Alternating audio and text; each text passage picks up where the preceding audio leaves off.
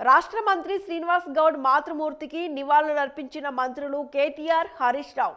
మహబూబ్నగర్ జిల్లా కేంద్రంలోని భూపత్పూర్లో జరిగిన మంత్రి శ్రీనివాస్ గౌడ్ మాతృమూర్తి శాంతమ్మ సంస్కరణ సభ.